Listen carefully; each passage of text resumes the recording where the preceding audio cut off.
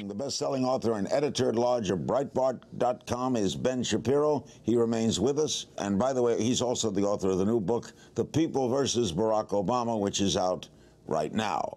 Joining us now is Richard Fowler, political commentator, host of the online news program, The Richard Fowler Show. Richard, you've heard what Ben has had to say on the on the legal questions here. Your response to his critique of the whole Obama administration.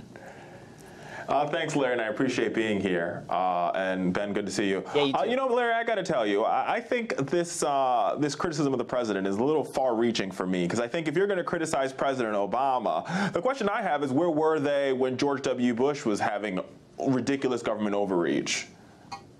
And that's fair. I, I, think that's totally fair. I think that, but now's the time when why don't we all get together and figure out, okay, how do we prevent this in the future? Because we can all do this routine. You know, why why are people who who didn't back George W. Bush back then when President Bush was going into Afghanistan, backing President Obama's plans for a troop surge in Afghanistan. Now, turns out there's two sides to the political debate. I'm, what I'm calling for at this point, whether we were wrong then or wrong now, let, us get together and figure out exactly how we fix the problem of executive overreach. if Bush was overreaching, so is Obama, do you right? say that in the book? Yeah, I absolutely do.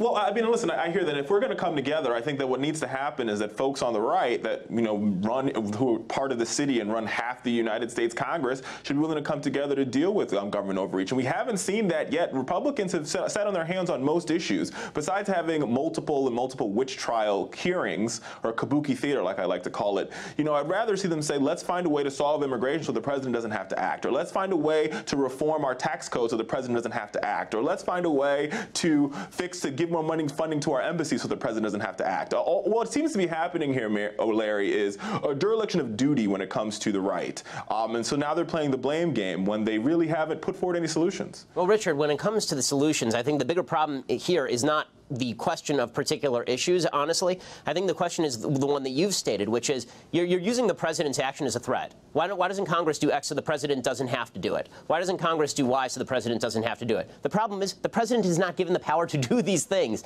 When the president goes ahead well, and does think, it. Well, wait a minute now. Go ahead. I think the president does have the power to stop deportations, and I think, like what we saw just a couple of days That's ago, right, the president also has the power to the president also has the power to make sure that federal contractors don't fire LGBTQ folks. These are all parts of the president's executive power, being that he's the administrator of the executive branch. I'm not sure what what what is administrative about ignoring basic facts of American law, such as that it is a crime to cross the border illegally. And uh, believe me, I'm somebody who actually is for immigration reform. But this is not a question of whether immigration reform is a good idea or a bad one. It's do you really want to give the president this this ability? Because That's Richard, if you really want to give the president this much power, then you can't be surprised if the president turns turns around, he'll, we elect somebody on the other side. He turns around and says, okay, let's deport everyone. You want to give him this much discretion? Well, I wait don't. Wait, wait, wait, no, wait a second. Let's be very clear, because I think you're mixing apples and oranges here. Uh, and let's be very clear about the pre this president has deported any more individuals than any other president That's in recent true. history. That's not true. But what that, that is true. That is not he's true. He's changed the deportations. He's changed the statistics. The statistics used to be measured that if you came to the border and you were rejected, that did not count as a deportation. He it has now been changed deportations that, if, that that's a lie. It's not true. It's and, not true. And what he what he has done now, the folks who aren't being deported are those individuals who came to this country at no fault of their own, who pledge allegiance to our flag, they go to our schools, and they want to pursue the American dream. Some of these individuals serve in our military. And the president has the power to instruct his secretaries to do whatever he chooses to see fit for them to do. And there we and go. That is That's not a violation that, of federal uh, law. They, he can he can instruct his secretaries to do whatever he see, sees fit to do, and this is the problem on every issue but of American but law. That is not, Someday, but that is, uh, that is not a me, violation of federal law. Uh, let me interrupt, guys, because I'm not a lawyer, and I will get it. Well, but there is a very pressing issue going on now in Iraq.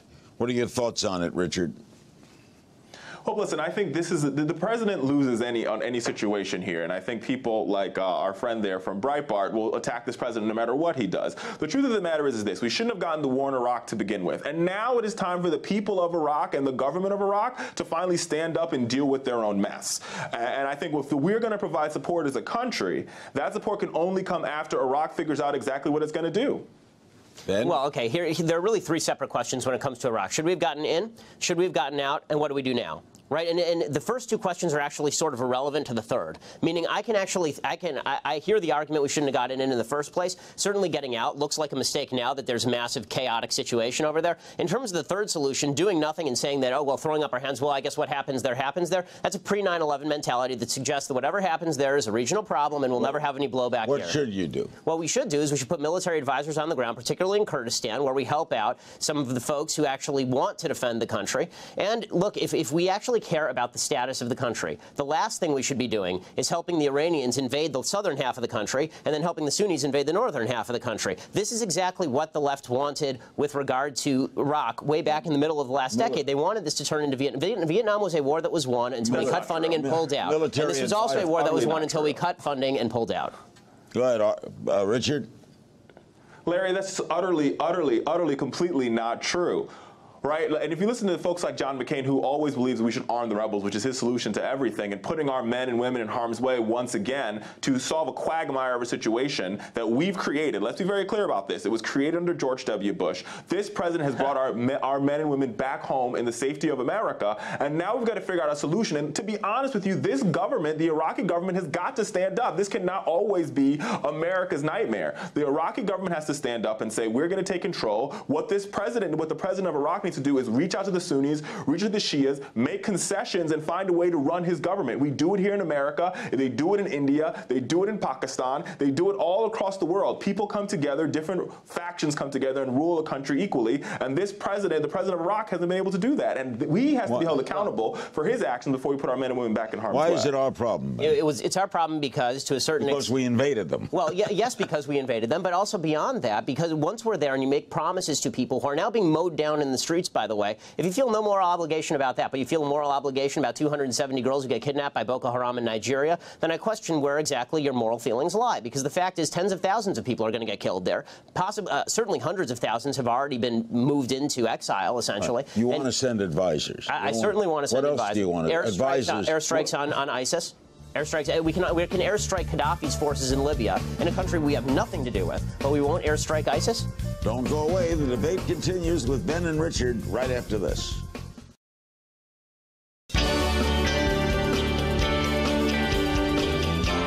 What's wrong with that? Richard, why not airstrike? Well, well, listen, I think I would like for him to define what military advisors mean. One, because we've already trained the Iraqi military, and it's not our fault the Iraqi military is surrendering as fast as possible, right? That's not our issue. That's not our problem. Now, where I do agree with him is I think that I don't, I have no problem. I think this president has no problem with some sort of drone warfare, sending some drones over there to strike ISIS. But with that being said, we need a, a, a solution where all the parties are at the table, and unfortunately, that can only happen when the Iraqi government stands up here. Well, that, that also happens actually, and was happening when when the American military was there. I mean, if you read the pieces in the New Yorker by a great reporter who's who's actually on the left, he was talking in, in specific detail about the fact that when the U.S. military was there, they were speaking every day, every day with the, with with Maliki, so and they were telling him. How long you want the U.S. military to be there? Is the question. If the U.S. military there is for is there for decades, we can live. How long do you want our men's and how long do you want our men and women to be put in harm's way? Let me ask you this: How many American men and women were you willing to let die for no reason now? Because now that now the country is gone, right? So you got 4,500 American men and women who died there, and their blood is worth nothing because the country is gone. And veterans are saying this. No, no, no, no, no, no. Wait a minute. Well, first of all, we shouldn't have been there in the first place. And I. Well, you, you can not, argue that, but the bottom line is, once the war was point. won, why give it rate, back? How, mu how much more American blood do you want to shed for a, a for a conflict that is not not our conflict and a government that is literally irresponsible. You, don't you think uh, the American public will not support troops on the ground? You know I, I, I think not. I think at this point you're probably right. The American public will not by support troops margin. on the ground by a wide margin because this is a this has become a country that has now slipped into a pre-9/11 mentality, which is why we are now going to surrender Afghanistan back to the Taliban and Iraq to a combined force of Al Qaeda slash ISIS in the north and Iran in the in the south. All right, some other political things. Your reaction to the to the defeat of uh, of Mr. Cantor.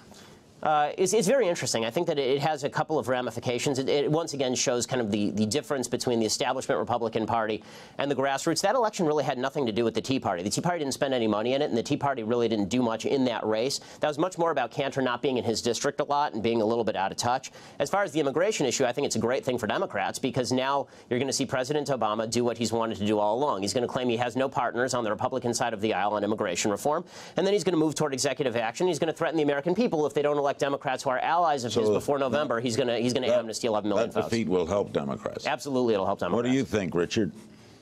Well, I didn't know immigration reform was a threat, but hey, uh, who's who, who's asking the questions here? But, but Larry, listen, I think where, I, where I do agree is I think the reason why Eric Cantor lost his race is because once again we all know the, the, the truth of the line that all politics are local, uh, and Eric Cantor just didn't play the local ground game. This guy he he outspent this guy on ads and also other stuff, but when it came to talking to people of his district, he just didn't get it done. Now, but what I think this does say for the broader Republican Party um, on immigration and, and on other issues on raising the minimum wage is that what you're going to find is a more divided government in Washington. If Eric Cantor, who is as conservative as conservative can be, who's who sort of tipped his foot into water on immigration reform, can lose his seat, then all Republicans are going to feel as though they're vulnerable. They're going to go all the way to the right, and we're going to have a dysfunctional government because Republicans refuse to come to the table and work with this president. Why can't we have immigration reform? I mean, the reason we Because can't- George Bush led the parade. I mean, listen, I would be fine with immigration reform. I think most Americans actually agree on immigration reform on We're this all basic immigrants. on this ba- exactly on this basic count. Right, you can't have this uh, at a very basic level. You can't have a welfare state with open borders, right? Because people come across the border and take advantage of the welfare state. So what you have to do first is you have to secure the border, and then you figure out what to do with the people here, whether that means pathway to citizenship or whether that means just legal residency. And I think that pretty much everybody agrees on that. The problem is that the president has been so lax on border security that people don't trust his enforcement of border security. So this has been the Well, sticking well, point. well, Wait a second here. Now, first, I don't think that border security and a pathway to citizenship are mutually exclusive. Those two things can happen simultaneously at the same time, Why? and that is the compromise. That is, that is the place of Why compromise for be done? Democrats and Republican, Larry. They can happen at the same time. We can build a fence, we can build a wall, we can build electric fence if that's what they want. But at the same time, we need to provide a pathway to citizenship for those 11 millions that are in the shadows. The Republican Party's problem is, is they cannot get a pathway through citizenship out of the United States House of Representatives, whether they like it or not, whether we beefed up the border or not, whether we put uh. Marine, Marine Team 6 on the border, they would still not be able to pass a pathway to citizenship. That's simply not true. If you secured the border, people That would pass true. pathway to Look the citizenship. count the votes. I promise you, I know the Republican Party pretty well, and, and if you if you were to secure the border, then you would be able to pass a pathway to citizenship. You would. It's, But why it- can't those happen? Why, why are those two things mutually exclusive? why are they connected? Because if we're dealing with immigration, we're dealing with immigration as a total issue. They're not separate issues. They, of course, they're separate issues because the fact is that if No, you do not. okay, it's fine. all about you're right. maintaining Why- our border and having uh, immigration control. So, so, so, so you're right. Let's assume you're right, and, and we'll completely, we'll completely connect them. Okay, but the way we'll connect them is we won't, we won't have any border security. Amnesty for everybody.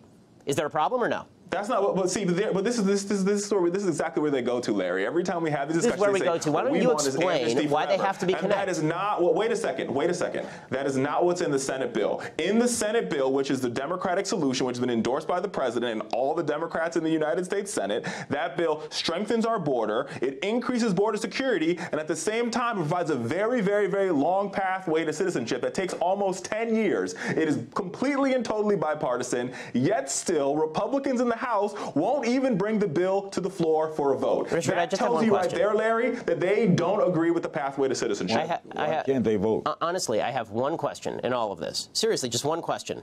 Why not just secure the border and then put a pathway to citizenship in? Why can't those happen at the same time? Why don't you answer my question instead of asking me back why? I I just explained to you why they can't. uh, Here's why they can't happen at the same time. As you secure the border, the border remains somewhat open. People cross the border because they feel that if they get in before the deadline, if they get in before the border is secure, then they are somehow included in Have the pathway read to the bill? citizenship.